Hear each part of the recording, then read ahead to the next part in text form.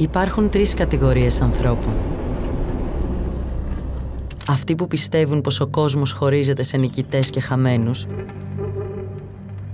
Αυτοί που πιστεύουν πως χωρίζεται σε θύτες και θύματα. Και αυτοί που βγάζουν κέρδος από τις δύο πρώτες κατηγορίες.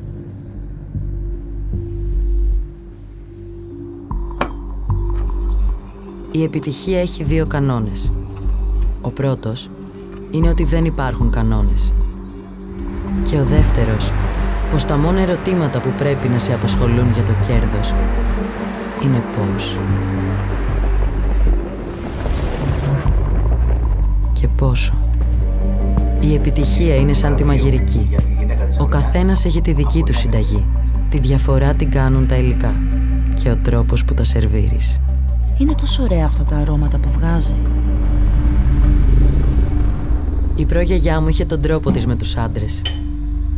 Η πιο γνωστή της συνταγή είναι χοντροκομμένη για τα σημερινά δεδομένα. Ευτυχώς είχε κι άλλες. Βρήκα αυτή που μου άρεσε και την προσάρμοσα στο παρόν.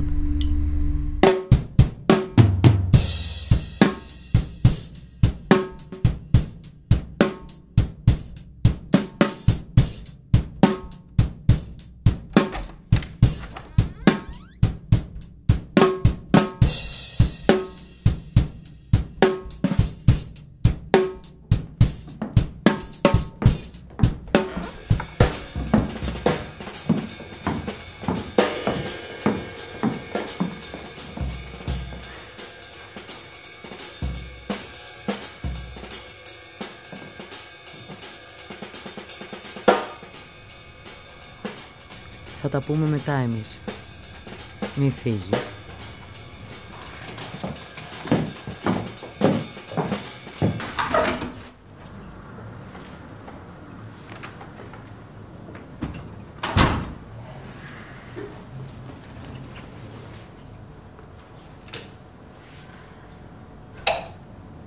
Συνήθως έρχεσαι πιο νωρίς. Λάθος σπίτι διάδειξε. Είμαι αστυνομικός. Το ξέρω. Ε, τότε είσαι ακόμα πιο ηλίθια. Έλα, σήκω φύγε με σε πετάξω έξω με τις κλωτσιές.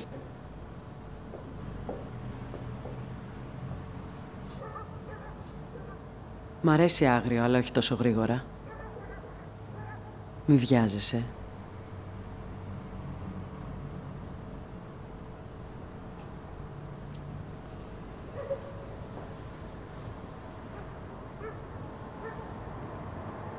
Ποια στο διάλογο είσαι και τι θέλεις.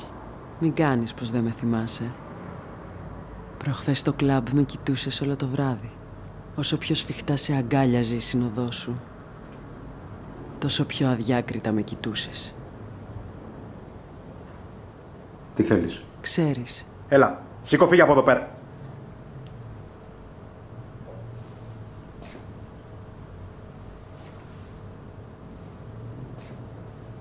έλα μωρό μου χαλάρωσε και κοίτα να το απολαύσεις. Γιατί τον τελευταίο καιρό βαριέμαι εύκολα. Και σπάω τα παιχνίδια μου πριν παλιώσουν.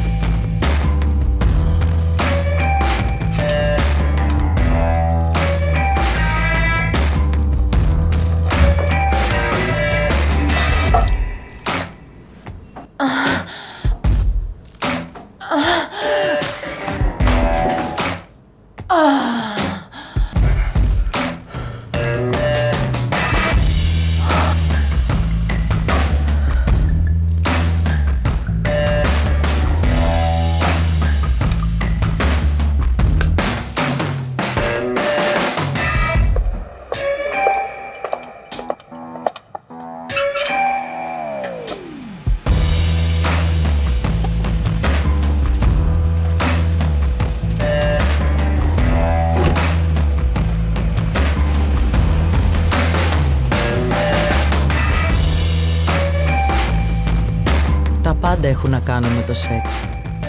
Το ίδιο το σεξ έχει να κάνει με τον έλεγχο. Αυτό είναι το όνομα του παιχνιδιού. Και αν δεν μπορείς να κλέψεις, τότε δεν έχει πλάκα. Ποιος παίζει παιχνίδια που δεν μπορεί να κερδίσει; Η προγιαγιά θα λάτρευε τη σημερινή εποχή.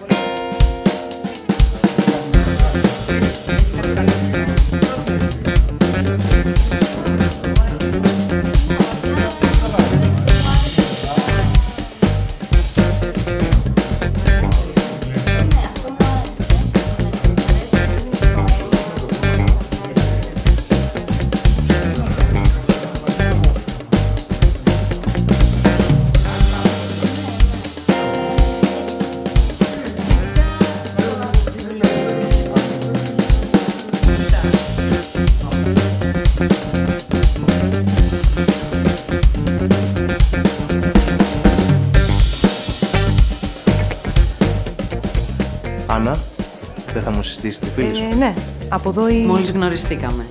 Θέλεις να έρθεις να κάτσεις μαζί μας; Όχι. Περνάμε καλύτερα εδώ. Άννα, πάμε να κάτσουμε με τα παιδιά. Η Άννα θα μείνει εδώ. Γιατί; Γιατί σε βαριέται μέχρι θανάτου. και εσύ πώς το κατάλαβες τα 10 λεπτά που την ξέρεις; Ήταν το πρώτο που μου είπε. Δεν πας να την πέσεις σε καμιά άλλη. Γιατί; Δεν αντέχεις τον ανταγωνισμό; Η Άννα δεν είναι λεσβία. Ούτε κι εγώ είμαι. Και στην τελική μιλάς συνέχεια για λογαριασμό της. Τη ρώτησες ποτέ τι πραγματικά θέλει;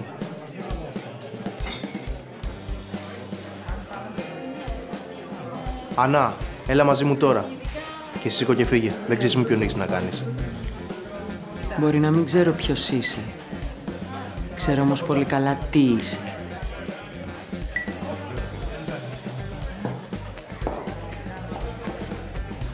Οι μαλάκες σαν εσένα είναι σαν τα αναρχητικά φυτά. Ανεβαίνουν και απλώνονται μέχρι να τους κόψεις αυτό που τα στηρίζει.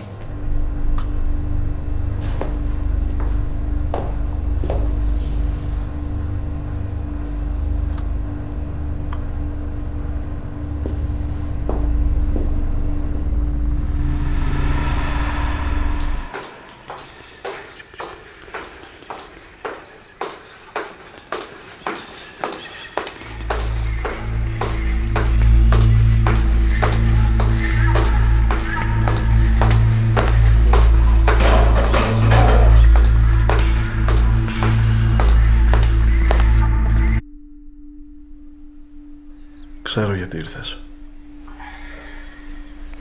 Δεν θα σε αφήσω να το κάνεις και σε μένα. Δεν χρειάζεται να κάνω κάτι. Θα το κάνεις εσύ για μένα. Τότε γιατί ήρθες; Για να σου πω αντίο.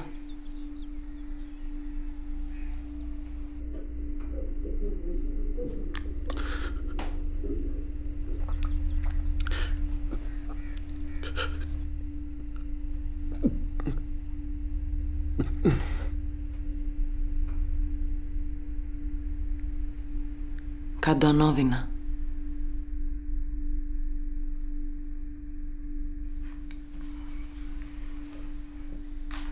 Και μη λερώσεις.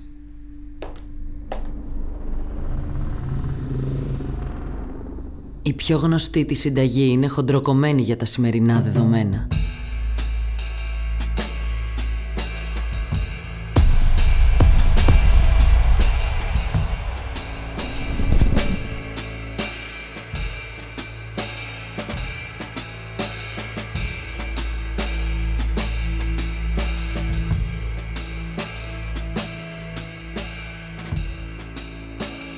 Το ξόρκι είναι απλό.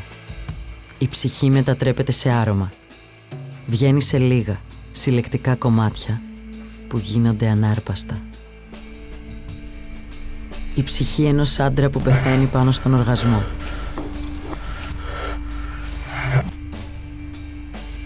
Μιας γυναίκας που ανακαλύπτει την ειδονή λίγο πριν πεθάνει. Η ψυχή ενός ερωτευμένου αυτόχειρα είναι η καλύτερη πρώτη ύλη.